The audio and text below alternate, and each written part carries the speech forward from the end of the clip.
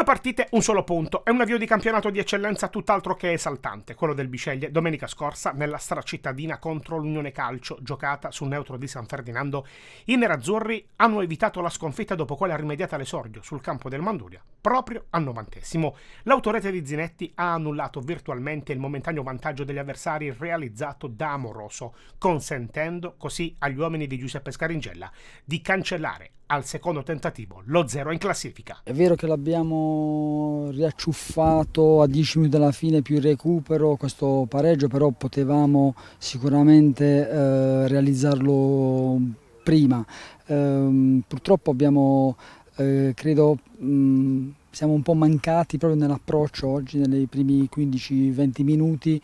Adesso le motivazioni le, le andrò a ricercare insomma, domani con i ragazzi, probabilmente abbiamo anche un po' sentito Uh, inconsciamente questa gara importante, questa stracittadina, insomma, dove tutti ci tenevamo a fare bella figura e a cercare di uh, insomma, regalare i primi tre punti ai nostri, ai nostri tifosi.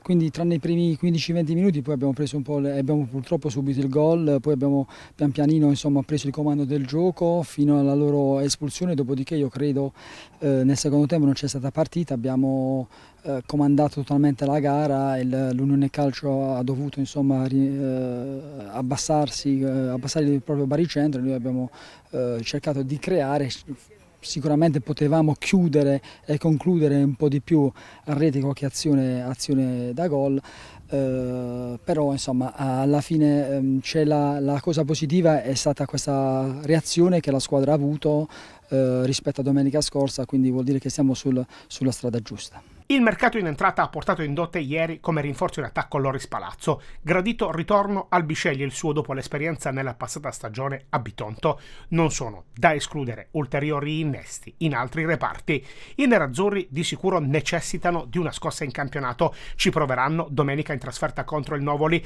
prima però c'è un altro importantissimo impegno ufficiale sempre in campo avverso. Gli uomini di Giuseppe Scaringella infatti sfidano domani sera il Barletta nella gara d'andata del primo turno di Coppa Italia Dilettanti fischio d'inizio al Cosimo Puttilli, previsto alle ore 20. La partita di ritorno invece è fissata per il 19 settembre. Il tecnico del Bisceglie è chiamato a gestire le energie fisiche e mentali dei suoi in virtù del trittico di appuntamenti ufficiali in otto giorni che si concluderà domenica prossima in Salento. Avevamo già purtroppo messo in preventivo che questo questo inizio non sarebbe stato facile per noi, per un dispendio energetico, fisico e mentale, perché risaputo insomma, che siamo partiti tardi, abbiamo sulle gambe una ventina di giorni di allenamento, eh, però è chiaro non, eh, siamo pronti, andiamo con molta fiducia, andiamo prima a Barletta cercando di, di ottenere il massimo e di fare la nostra grande prestazione.